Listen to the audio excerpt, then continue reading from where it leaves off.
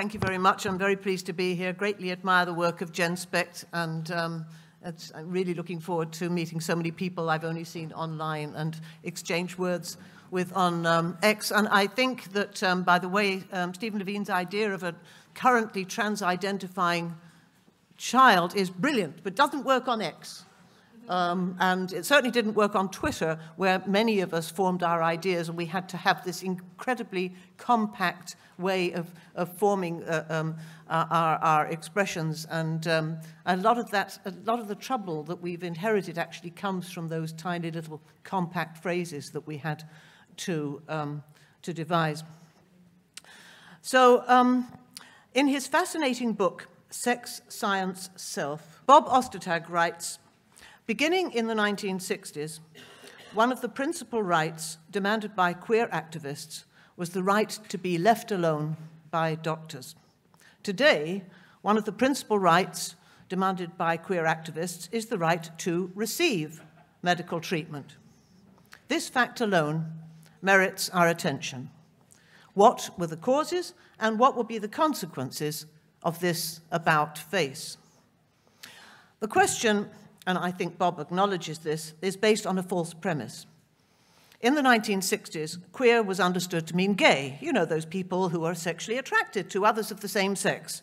You remember them? And they, we, still want to be left alone by doctors. So, who are these queers who are demanding medical treatment?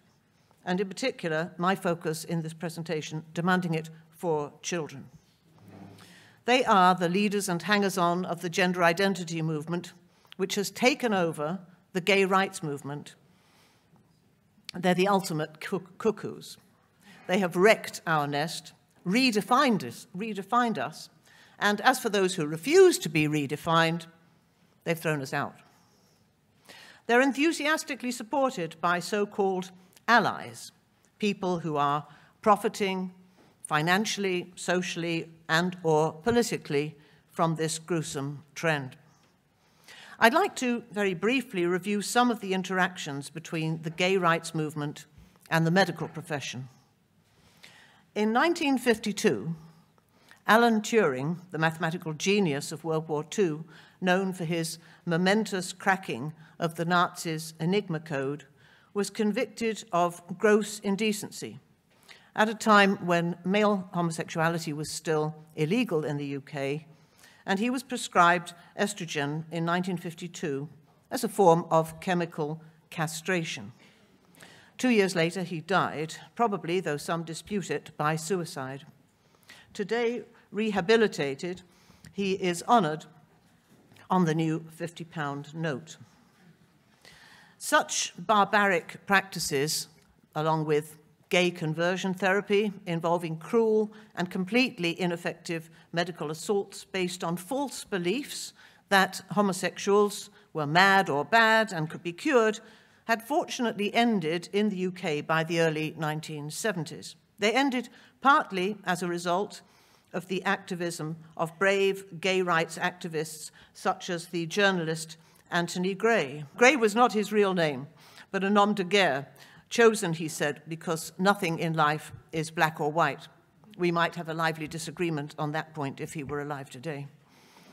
In the 1980s, governments and the medical establishment were very slow to respond to the plague that became known as HIV/AIDS that was ravaging gay male communities. It was gay rights activists who successfully campaigned to get funding for vital research. They encountered numerous obstacles public prejudice against gay men, lethargy among officials and in the health profession, and above all, a lack of funding.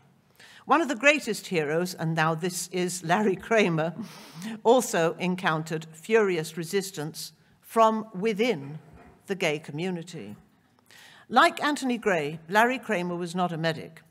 He had written a screenplay for Women in Love and a raunchy novel entitled Faggots, for which he was lambasted by much of the gay male community for its, some thought, overly graphic depiction of promiscuous gay male sex.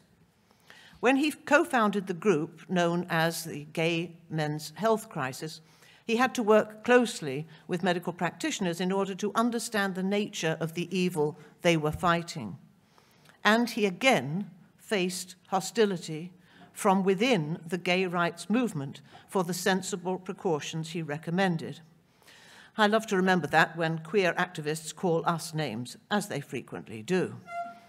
So when I refer to the good and the bad in the relationship between the gay rights movement and medical science, the good is the activism that led eventually to research into HIV AIDS and the invention of life-saving drugs.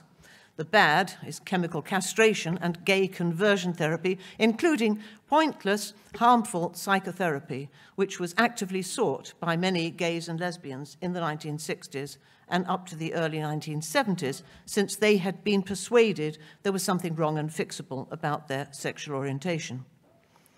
Fast forward to today.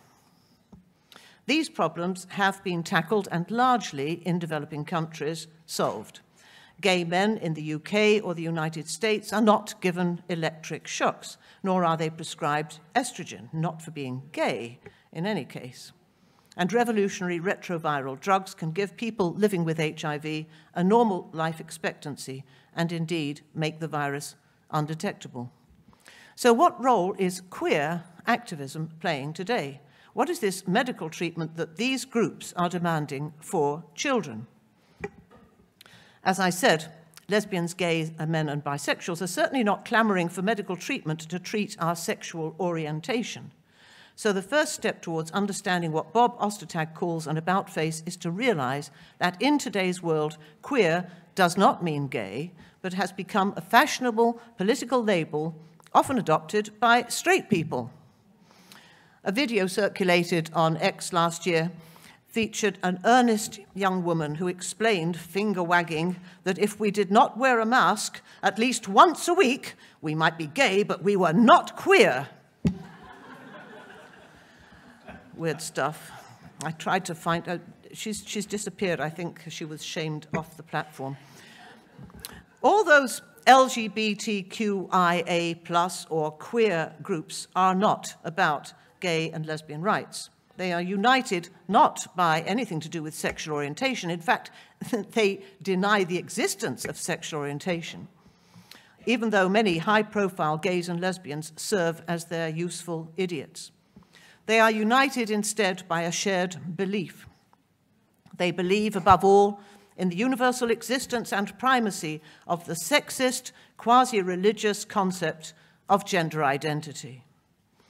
With their gender-based definitions, they've effectively dismissed the entire concept of sexual orientation in order to create space for a public debate on these issues, we must separate LGB from TQ+. And that is why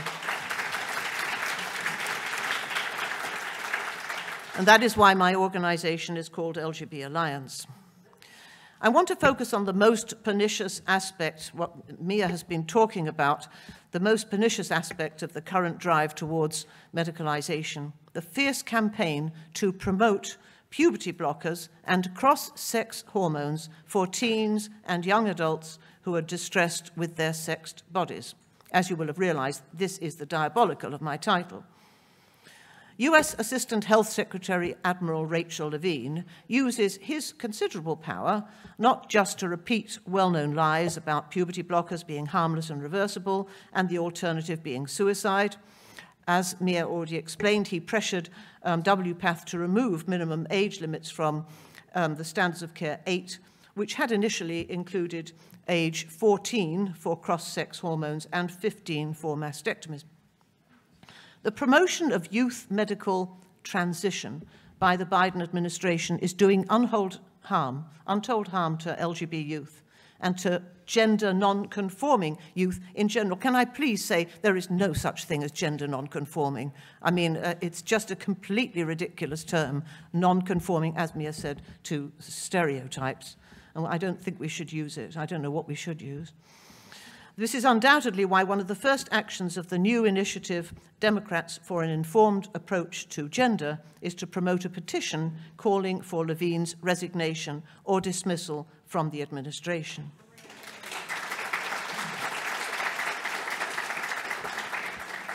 Levine's propaganda echoes that of the activist clinicians and non medical activists of WPATH, as well as all major, this is just so shocking, I really can't, all major human rights organizations, from the ACLU to Amnesty, and in the most profound betrayal of all, of all LGBTQIA plus organizations. And what is the main group affected by this queer demand for drugs and surgery? It's teenage girls and young women, mostly lesbians.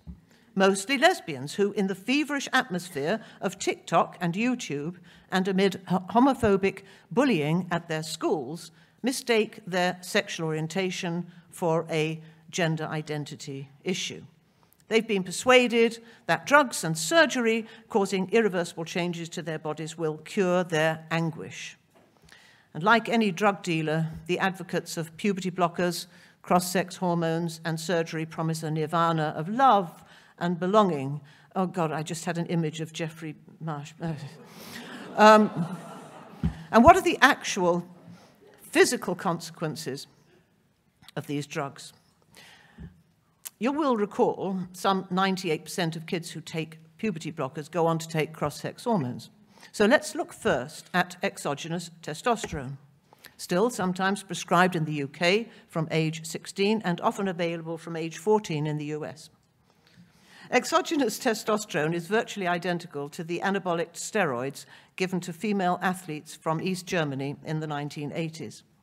However, when administered to girls and young women in the context of gender confusion, it's not referred to as anabolic steroids. That really doesn't sound very nice.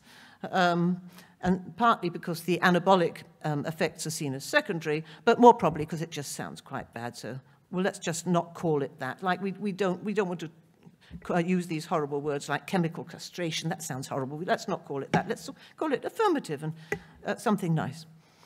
Um, because in this context it's been classified as medically necessary medically necessary. So the health impacts of exogenous testosterone have been studied at length, and here they are. As you see, they include um, increased risk of heart disease and blood clotting, higher risk of various cancers, elevated risk of diabetes and metabolic diseases, and psychological effects such as aggression. Aggression, been in the, mood, in the news rather a lot recently. Um, clearly, these are very serious consequences. So taking the real risk of inducing such health impacts iatrogenically must surely be justified by the urgency of treating some terrible disease that is even worse. How about puberty blockers themselves, GnRH agonists? Do we need research on the impact they have?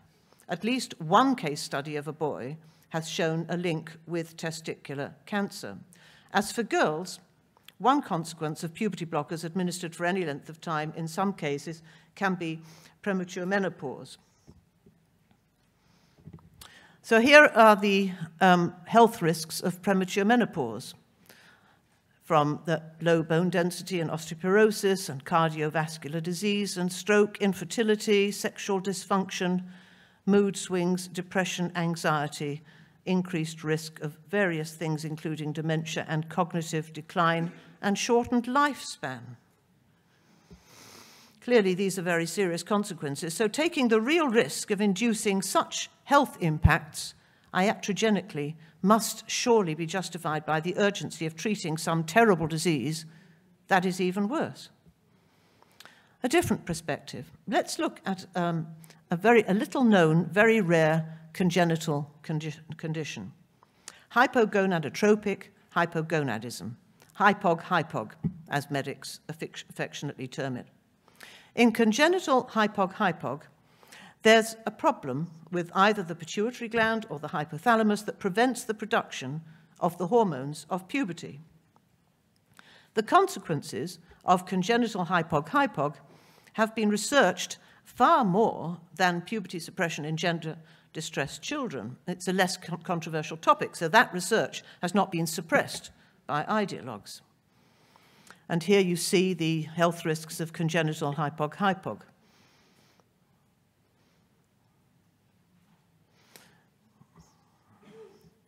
I must emphasize, I'm of course not a medic or a clinician, and I very much hope that medical researchers will pick up on the points that I'm raising and study them. But I don't think it's controversial to say that puberty suppressants, GnRH agonists, act on the pituitary gland to stop it sending the normal signals to the hypothalamus. In other words, these drugs, it's fair to say, copy or mimic, or to use the medical jargon, phenocopy the congenital disease hypog-hypog. And you see these consequences.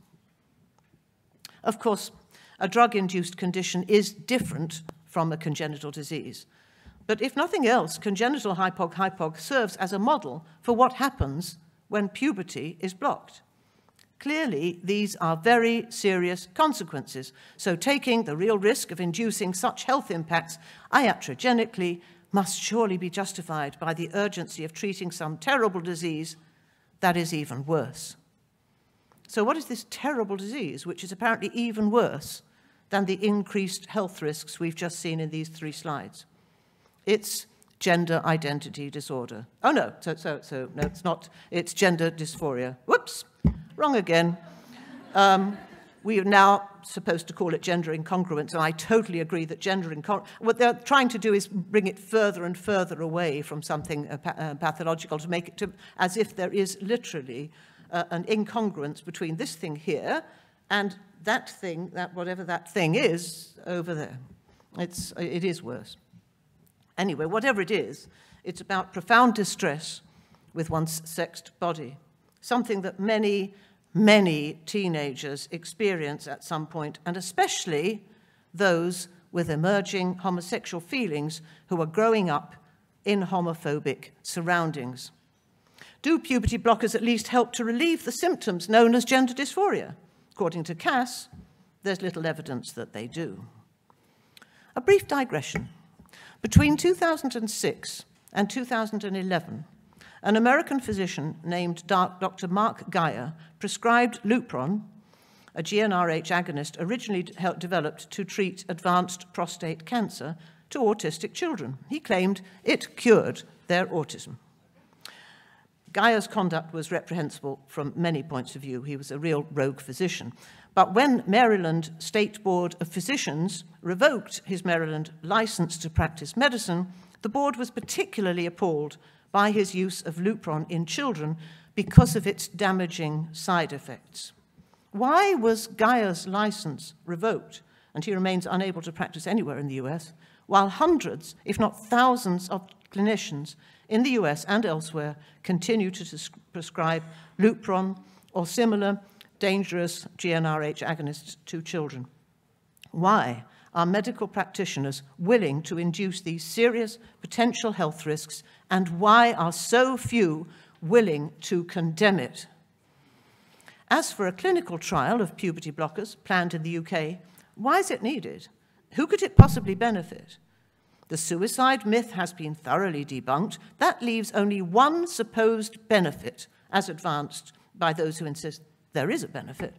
They help boys pass as female more easily as adults.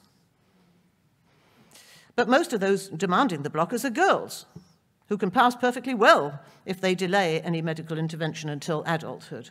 Are we to inflict harm on hundreds more lesbian teens as a sacrifice to the supposed cosmetic benefit for some boys? Given that the known health risks are so serious, I question whether such a clinical trial would be in line with the precept, first, do no harm. Those of us who've been following this issue for years know that it's primarily LGB teens and young people who are impacted by these medical abuses. Anecdotal evidence with the lived experience of lesbians in particular, of course, abounds on social media, and Stella and Sasha have often profiled such young women. But proving that most of the teens concerned are LGB with precise and recent statistics taken from large-scale studies is not easy, since many gender clinics, as you'll have seen in the Cass review, um, don't even bother to ask their patients about their sexual orientation. As Cass says, the review has not been able to obtain recent data, and they uh, go back to the older, the, the older data because recently, in the, during the whole explosion uh, in which it was the, the sex ratio was reversed, they stopped collecting this data apparently. And I think the refusal to gather such data is one of the biggest outrages in this whole scandal. Around the year 2000, the trans youth charity Mermaids explained that most children with what was then called gender identity disorder, this is Mermaids, 2000, uh, until 2008, actually. It's, yes, well, anyway, Mermaids, still under investigation, funny thing that. Anyway, um, the, um, they said that most children with what was then called gender identity disorder did not need any treatment and would simply grow up homosexual. This was rather before the, um, the arrival of a certain CEO, of course.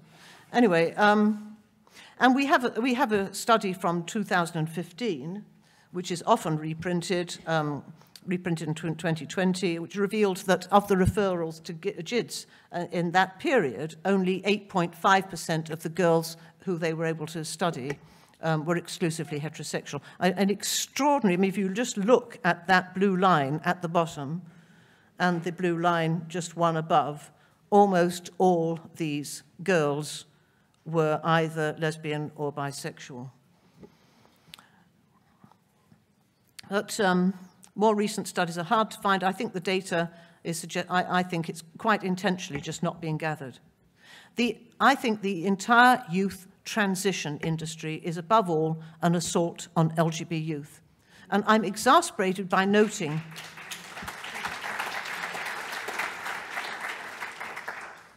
I'm exasperated by noting that even in the rare, vaguely impartial discussions of the topic in the media, this aspect, that it's LGB kids who are at risk, is hardly ever mentioned. But maybe it's not so strange. It's not just the difficulty of citing recent data. There's the more mysterious problem.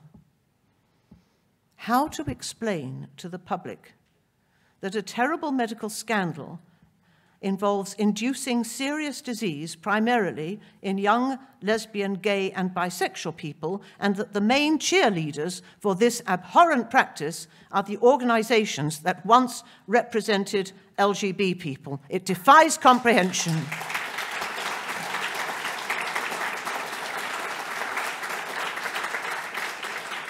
Try explaining that on the radio.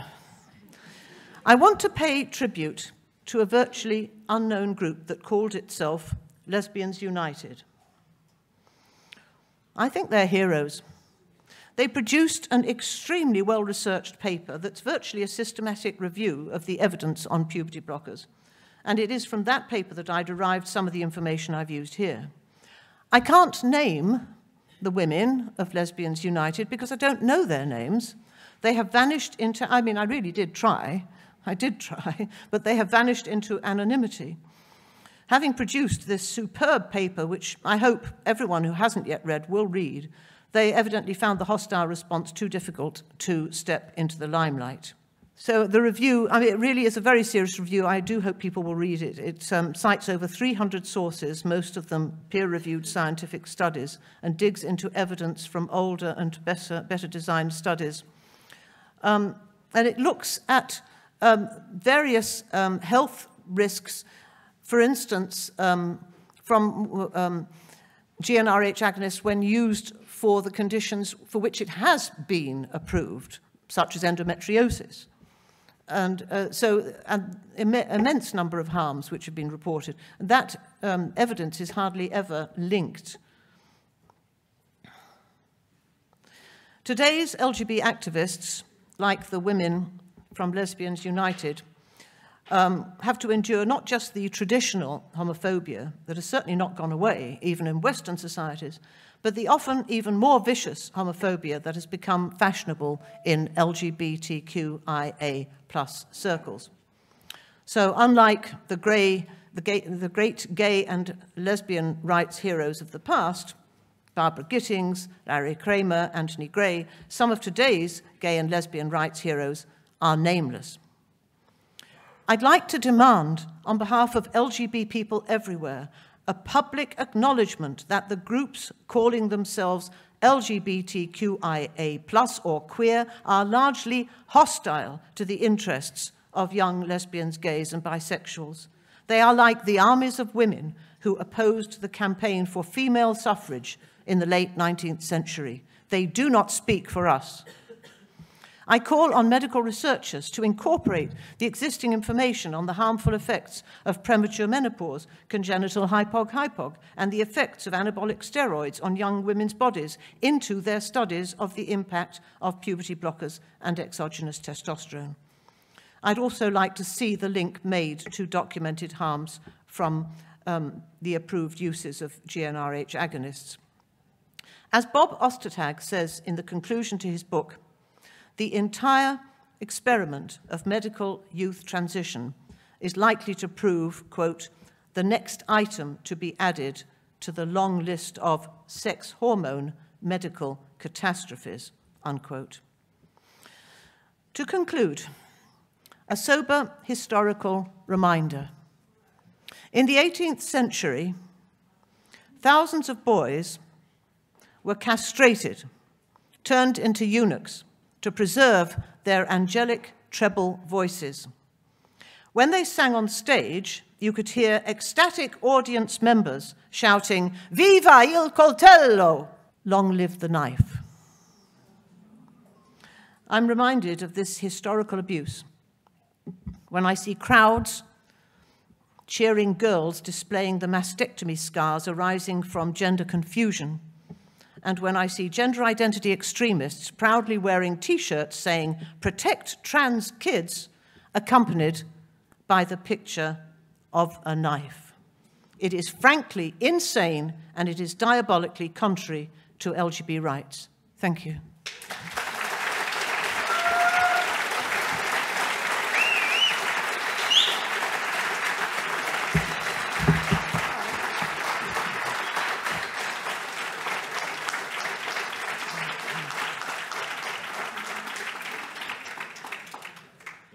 Hi, uh, my name's Nick. I'm a journalist. Um, sorry for the UK-centric question. Hello, sorry, if you can see me over you. here.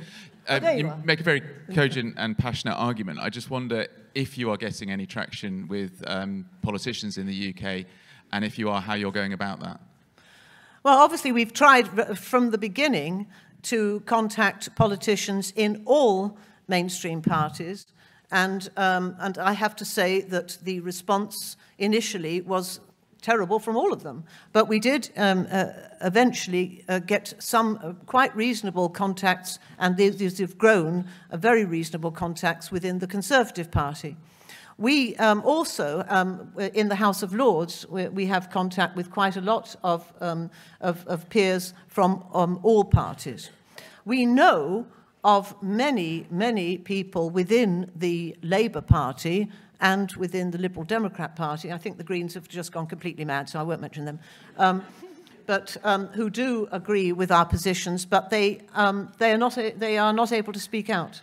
So we, we do our best, we try constantly, but the message has gone out, it's been projected by the queer organizations that LGBT Alliance is a hate group.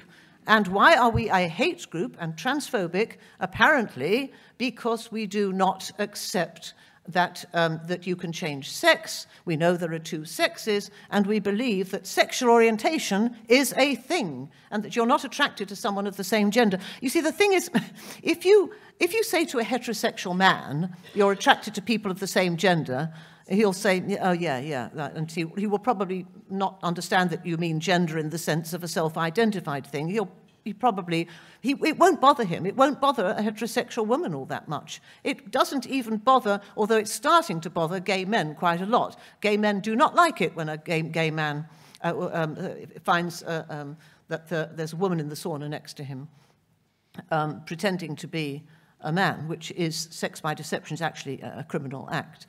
The people who are suffering most are lesbians. I'm sorry, I completely wandered away from your question. Would you like to introduce yourself? Hello. Uh, good good uh, afternoon. I'd say uh, my name is Margaret. Uh, I am an editor from Iceland. We, I run We've got on- half the Icelandic population here.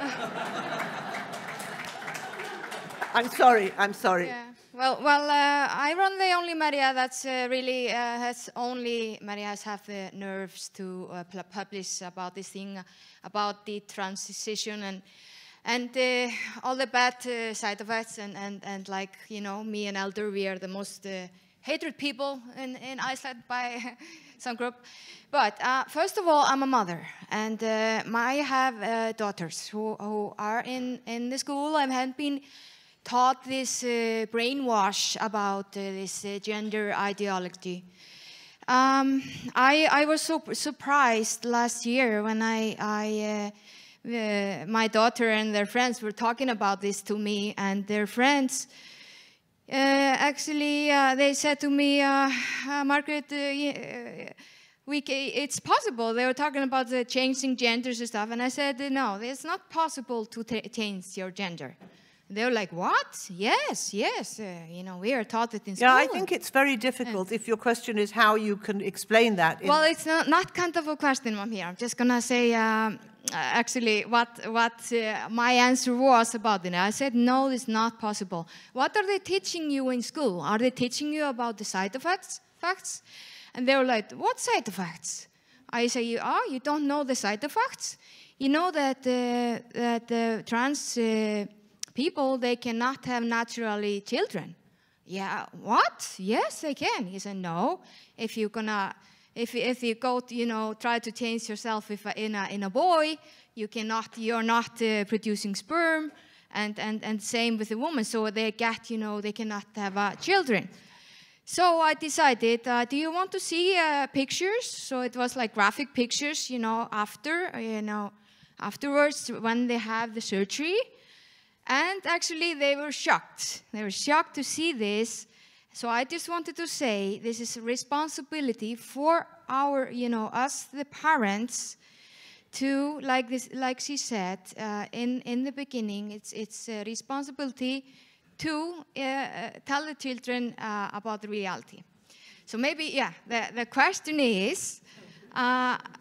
What do you think? Uh, yeah, uh, how, how we well, I've, I, I, mean, I've got two daughters and two granddaughters, I, uh, and, and, fortunately, this uh, um, has not happened to me. I, have always thought that it must be extremely difficult um, if you are faced with that position. And uh, my plan was always to immediately leave and go and live in Botswana until they had.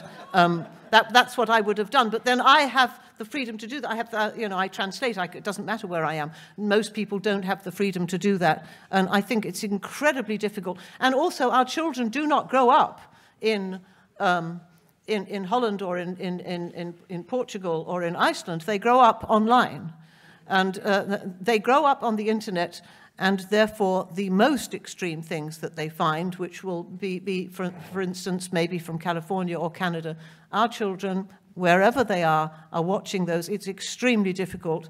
And I'm just, um, really, my heart goes out to every parent who has to confront this issue. Hello, thank you. Um, I'm Penny and I'm from New Zealand. And I focus on um, looking into what's going on through the education system. And so, what's happening in New Zealand, um, and particularly in the girls' schools, is a huge number of girls are now coming out saying that they're same sex attracted now, like disproportionately, like up to 75% at some Catholic high schools. And you, like using that. those words? And this is, yes, and this is, um, we're seeing it because it's coming through the education system and it's coming through the relationship and sexuality or comprehensive sexuality education.